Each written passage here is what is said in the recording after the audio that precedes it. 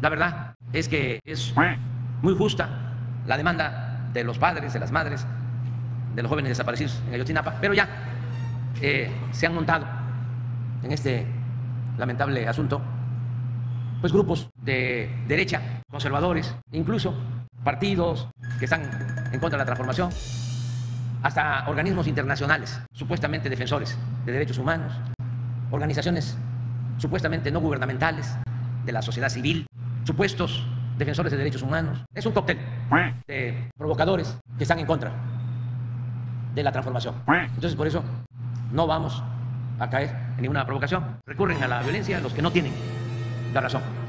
Y claro que va a haber diálogo, pero necesitamos ponernos de acuerdo con los padres.